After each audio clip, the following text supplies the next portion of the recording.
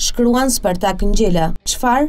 Kjo është një pyetje universale. Atëherë le të fillojmë. Qetësia e pushimeve nuk e ndalon mendjen që të mendojë. Te gjithë secili që di të mendojë mëvetësisht. E pra gjithkush në këto pushime dhe që është shqiptar, mendon. Kur të kthehem nga pushimet, çfarë? Kur të mendoj për të ardhmen time, çfarë? Kur të kujtohemi se asgjë nuk ndryshon nëse ti nuk je vetë i aftë ta ndryshosh, e pra çfarë? Kur të bindesh se gruaja apo e dashura po tradhton me kë dhe për çfarë? Kur të kuptosh se të gjithë gënjejnë dhe asgjë nuk është tani më e vërtetë në Shqipëri, e pra për çfarë? Kur të kuptosh se askush nuk të jep të drejtë pa interes, për çfarë atëherë të duhet e drejta? Kur të çohesh se midis teje dhe të tjerëve në Shqipëri Nuk ka një nyje lidhëse që të jetë e barabartë për gjithë dhe të na lidhë të paktën për një çështje themelore që nuk ka të bëjë me jetën tënde. Çfarë? Kur e vërteta nuk është e lirë, liria nuk është e vërtetë. Po kur e vërteta nuk pranohet nga të gjithë, çfarë ndodh? Po në një vend ku e vërteta është e lirë, por atë e mallkojnë të gjithë, çfarë ndodh? Po në një shoqëri ku gënjeshtra është krimbi që mban gjallë shoqërinë, ku qëndron zhvillimi? Zhvillimi ecën me të vërtetën dhe shkencën, por kur këto të dyja nuk pranohen nga krejt një shoqëri,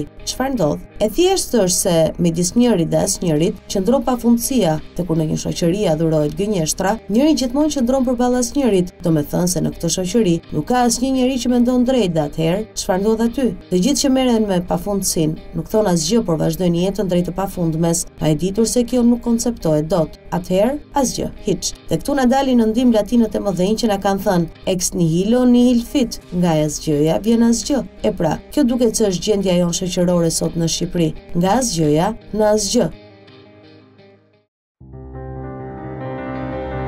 Pamfleti është një platformë mediatike analitike që u lind si domosdoshmëri një tribune pa kompromis, si një zë i fuqishëm në luftën pa ekuivok ndaj krimit dhe korrupsionit politik.